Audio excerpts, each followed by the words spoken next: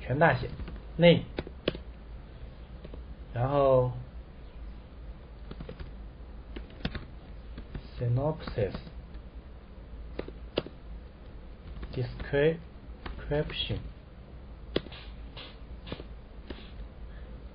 also，然后 report bugs say also， 有的时候还会有什么呢？example example 例子啊，给大家理解一下就行了，理解一下。那么好，在这里我们要退出怎么退呢？按 Q 直接就可以退出了。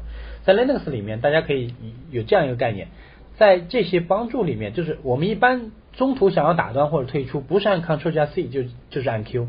有的时候在命令或者编译的命令执行查找啊，命令执行过程中啊，查找过程中啊，编译过程中啊，你想退出，按 Ctrl 加 C 来中断啊。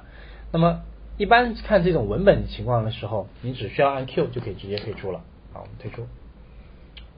好，这个就是关于 ls，我们用 man 看了一下。我们再来看一下，还有第三种形式看它的帮助，info。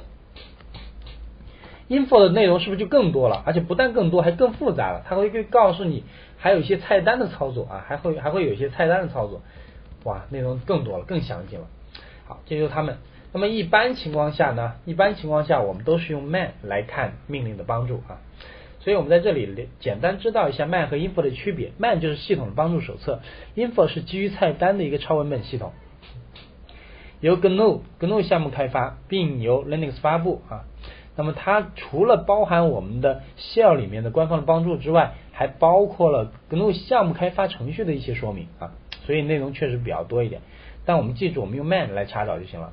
那么你说了，Sandy，既然 man 也是一个命令，我们能不能 man man 呢？我们来看一下，是不是可以的？也是可以的啊，大家自己好，再次验证啊。好，这屏幕是不是有点花，有点乱呢？这里有一个小程序叫 Clear 清屏啊，有个小命令清屏。这个这些命令其实跟我们以前 DOS 的差不多的啊。如果有过 DOS 基础的朋友们就比较清楚了。那么同时，我刚刚说了，在我们的 Bash 里面，它会记录我们的历史输入差不多五百次。那么我们来看一下我们的历史该怎么来处理呢？怎么来看我们的历史呢？可以通过这样一个命令叫 history。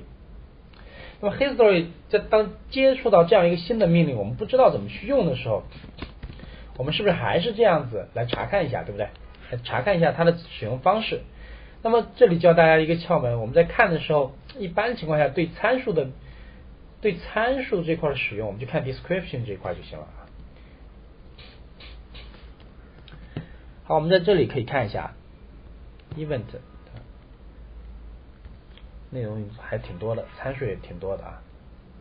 history function，好，我们来看看哪个我们用得上呢？最常见的，好，这儿。指定一个，通过一个 n 来指定它的一个行数，就最近的多少条，最近的多少条啊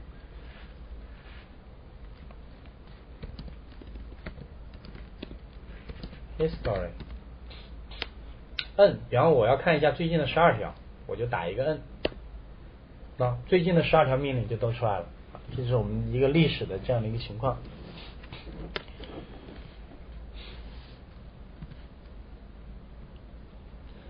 这些了解这个 history 一般情况下其实我们也用不上啊，一般情况下都用不上。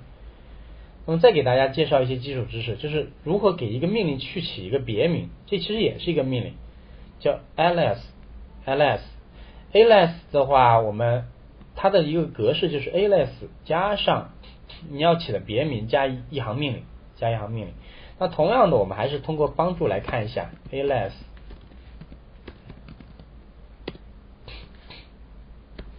哎，出错了。哎，sorry，短路了。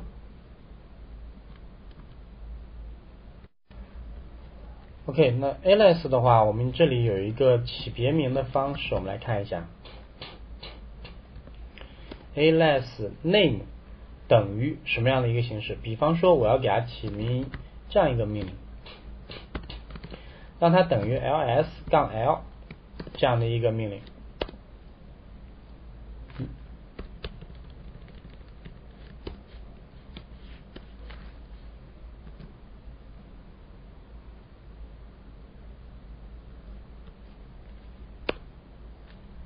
OK，那这个命令就给它起好了。我们调用一下 Sunday，其实这个命令我用我用的也很少，我基本上是不用它的。你看我现在敲了 Sunday，就相当于什么？就相当于调用了 ls 杠 l 一样的一个效果，对吧？好，这就是它的起别名。但是如如果要取消掉这个别名呢？我们看一下，就可以用 unals unals，然后就取消掉了这个样一个别名。我们再调用一下 Sunday，是不是就不管用了？对吧？这是别名。好，至此我们先做了一些基础知识的一些介绍。那么下面我们就开始进入到我们正式的 shell。那么 shell 命令涵盖其实因为内容太多了，所以我们还是要照旧要对它进行分类。那么我们来想象一下。如果是你当时在设计 shell 而而言，你会给 shell 分哪些类别呢？事实上，我们怎么样去分类？我们是不是应该考虑什么呢？仅围绕着我们的 shell 的概念来说，这个是 Linux 内核，这上头外面套了一层是我们的 shell。那么，如果你要做这些命令，是不是最终还是要跟它进行操作？那么这里就涉及到我们内核有哪些内容了，对不对？所以我们的命令应该对它跟它对应嘛？我们的内核有文件系统，对不对？文件系统就包括了文件操作和磁盘操作，对不对？那么我们内核有进程，有进程，甚至于线程。那么我们的内核有网络，对吧？我们能想象的、想象到的比较清晰的，是不是有这些东西啊？那所以我们。就会考虑到，哎，那分类里面会不会有这些东西呢？但是也有可能是什么？有这些东西，而不局限于这些东西，对吧？因为我们要操作的是整个操作系统，而不仅仅是内核而言。所以呢，我们在这里其实把我把我们的事儿最后是进行了一些分类，这个是我们内核的一些东西，文件管理呀、进程管理呀、内存管理、网络管理和其他。这个其他我现在不知道，如果是我在设计，我肯定不知道。只有在用户提到这个问题了，我才会考虑到。所以我们也来这样分类。那么文件系统及相关操作、磁盘管理、那么进程管理、网络配置管理，这里稍微多了一个叫什么呢？叫用户管理。这个就不是我们内核的内容了，这个就不是我们内核的内容。但是我们的操作系统又离不开，因为我们的那个是多用户的。机制，那么它又离不开用户管理这一块，所以我们的 shell 命令也会要考虑到这一块。那么因此，我们就基于这样的几个类别来把我们的命令分分类啊，分分类。最后我们所有的命令这几十个命令都学完了之后，我们再做一张总表，方便大家进行一个记忆。好，那么我们先来看一下文件系统及相关操作有哪些内容。哇，命令不少哈，我们一看哇，有这么多命令啊，会不会晕掉？啊我们先简单的给大家。来过一下，cd，cd 就是进入文件夹，就是访问文件夹的一个方式。where is 这个我们之前其实是已经用过了，对吧？就查找某一个文件或者每某一个命令在哪里。啊，pwd 就是查找你当前的路径啊，这个这个你可不要认为是什么，我们有的朋友认为这是 password，不是啊，这是 print，print 当前的目录目录啊，print 当前目录。ls 这个我就不用说了，file 是文件属性啊，查看文件属性，echo 就是打印字符到屏幕上面，make dir 和 rm dir 这个很容易理解嘛，make dir directory 嘛，就是建立我们的文件夹，和 rm 就是 remove remove directory 对吧？cat cat 可不是猫哈。cat 我们来看一下，它是个什么呢？有的朋友说，哎，怎么猫还会 cat 的作用？我们刚刚已经看了，就是把文本里面的一些内容输出到我们的屏幕上面，对不对？那有的朋友就会说，cat 为什么它会这样子呢？很不方便我的记忆啊。实际上，我们通过 man 我们可以看一下，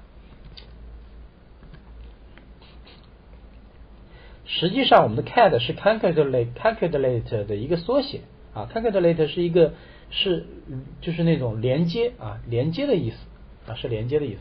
也就是说，它把这个文件连接，并且给它打出到我们的标准的输出设备上面。calculate。那么 CP、MV 和 RM，CP 呢就是 copy 的缩写，这这个就毋庸置疑了，拷贝。MV 就是 move 嘛，就是移动；RM 就是 remove，就是删除。好，这个呢，CHOWN 啊，clone 我们可以称为 clone。那么实际上就是什么呢？change owner 改变拥有者。后面顾名思义就是 change group 改变所属主。好，这个是 change model 就改变模块。其实在这里的话，我们更多的是用它改变权限啊，改变权限文件权限。Grep grep 的话，就是我们刚刚也讲过的，就是在一个文本里面去查找，去查找一些关键词儿。find 也是查找，但是是在磁盘上面去查找我们的一些文件。locate 是在我们的磁盘上面去定位我们的一些文件，所以这两个有点像啊，但又不一样。ln 就是 link，就是 link 的缩写，就是建立我们的连接文件，建立我们的连接文件，就有点像什么呢？就像我们 Windows 里面建立快捷方式是一样的啊。这是我们最常规的一些操作。那么在文件相关的还有压缩与解压缩，gzip 和 tag，这是两种操操作格式，一种是 gzip，就是我们一种压缩格式，而 tag 是我们一种。打包和解包的这种这样一种格式，这个其实我们用的也比较多，对不对？还有就是我们的比较合并，different different，diff 的话就是比较两个文件的不同，这个很容易去理解。patch 就是打补丁，对不对？很容易理解。好，下面我们来看一下这些命令怎么样去使用。那么 cd 这个是很简单的这样的一个命令啊，然后 cd 登录这些。这个都没有什么好说的，跟我们的 Windows 上面是一样的。然后大家注意打空格，然后返回上一级就是 CD 俩点儿，对不对？俩点。这个地方注意一下，养成一个习惯，就加上空格。你看我在 CD 返回上一节的时候不加空格，哎，它就会把它当成一个命令，它会把它当做一个命令。如果是两点的话，它就会把它作为一个参数进行输入啊，作为一个参数。还记得吗？我们的是说了，命令后面跟上 option 选项，再跟上参数啊，这俩点就作为参数给输入了。好，这是我们 cd。再看一下我们的 where is，where is，比方说我要看一下 pwd 或者叫 cd 这个命令在哪里？where is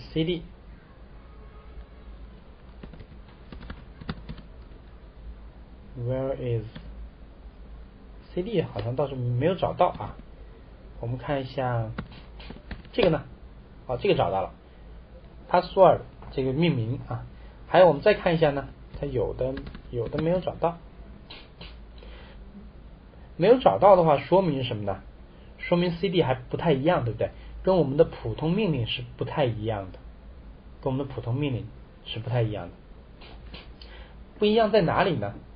其实这个以后我们在编的时候，我们就就会看得到啊，包括大家去可以去看一下，我们去看一下啊，s bin 下面，大家可以看到没有？通过这种方式我们来验证，说明一个什么问题呢？说明我们之前编的 shell 不是一般都是命令放到 bin 下面的嘛，对不对？但是这个地方 bin 下面又没有它，这个 bin 下面有 ls 没有 cd，可见啊这个 cd 可能不是我们之前的那个 call utils 里面的命令，对不对？好，所以这样大家理解一下就行了。现在我们先不深究，我们就先记住它。好，然后 where is，同时我们再找一个，比方说 where is ls，这个我们命令常用，对不对？哎，我们就找到了。OK，在 bin 下面有个 ls，在 user shell man 下面也有个 ls，这两个我给大家讲一下。第一个就是我们的命令了，第二个是什么？是个压缩包，对吧？gzip 的一个压缩包，这个实际上在 man 下面，那么实际上是什么呢？我们想象一下，是不是就是 ls 的在 man 里面的那些帮助的帮助说明文档啊？它作为一个压缩包放那儿了，对不对？所以这个大家理解一下就行。好，这就是我们 where where is 的使用。当然你要详细的了解它更详细的使用，这个我就不用我教了啊，大家自己下来看，自己下来看。那么下面我们再来看一下 pwd 啊，pwd 我们直接输入就行了，打出当前我们所在的位置。那你说我们直接进入到我现在的工作区，比方我 cd，cd 你可以用波浪符再加斜杠进入到我的主工作目录。或者呢，或者默认的后面什么都不跟，也是进入到我当前用户的主工作目录。好，我现在再打个 pwd，你看就知道我当前的主工作目录是在 home 下面的 sunday 这个文件夹下面啊，所以这个比较也比较有意思啊。然后下面就是我们的 ls，ls 的话，我们其实有必要去看一下啊，我们常见的 ls 有这样的几个比较常见的命令。一个是 ls 杠 a，一个 ls 杠 l，这两个我们用的比较多。我们先看一下效果。ls 杠 a 这个就是把什么把隐藏的文件也显示出来。ls 杠 l A 是 all 的缩写嘛，l 就是 long 的缩写嘛，就是详细的以长文件的方式给它打印出详情。那么当然我们也可以杠 al，对不对？这样更详细了。那我们来看一下是否如我们所想的这样子。我们来找一下这杠 a。这个参数刚才我们已经看过了，那我们再找一下杠 l 是什么意思呢？这使用一个长的列表格式，对不对？使用一个长的列表格式来做这样一个操作，所以这个很简单啊。当然我们在做 ls 的时候，我们也可以做什么呢？做通配符的这些搭配，对不对？还记得吧？可以加上通配符的这样一些使用。那么在这里还有一个命令叫 ll，大家也可以常常用到，它跟 ls 杠 al 是一样的道理。大家可以看一下，就是 list long 的意思啊，list long 的意思。好，这就就是我们 ls 的这个命令。我们下面再看 file，file 是看文件的文件的一些属性了。比方说，我们看一下。hello 点 c 这个文件，我们就用 file 指向到 hello 点 c，大家可以看，它就指指向这个文件了之后，它就读出来这是一个 ASCII 的文本文件。那么我们再看一个呢，你看它就读出来这是一个目录，对不对？那好，那如果说我们去看一下这个文件呢，比方说 ls 这个文件 file 并下面的 ls，我们看一下。你看，它就指出来，这是一个什么？是一个三十二位的可执行文件，是基于什么平台的呢？Intel 八零三八六这个平台。以后我们如果做 ARM，我们的很多东西都是在 ARM 上面下面编译的，我们就会就会知道，OK，这个地方就会变成 ARM 的相关的一些平台，对吧？下面是更详细的一些版本和版权信息，这是我们 File 的一个使用。Echo 就是在屏幕上打一些话了，Hello Sunday，这个很容易去理解啊，没什么好说的。Makefile 建立一个文件夹，比方说我建立一个 Sun Sunday D 这样的一个文件夹，我们看一下，是不是出来了？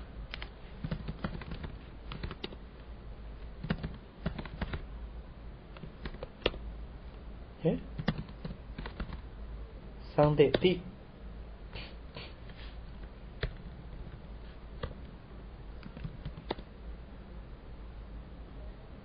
哦，是不是进到这里面了？我看一下。哎，我这个显示怎么？哦，出来了，出来了。好，然后我们看一下，在这个 Sunday D 里面，内容是空的，对吧？Sunday D 里面内容是空的。那么现在我们要把它删掉。既然是 make make dir 是建立文件夹。remove dir 就删除文件夹。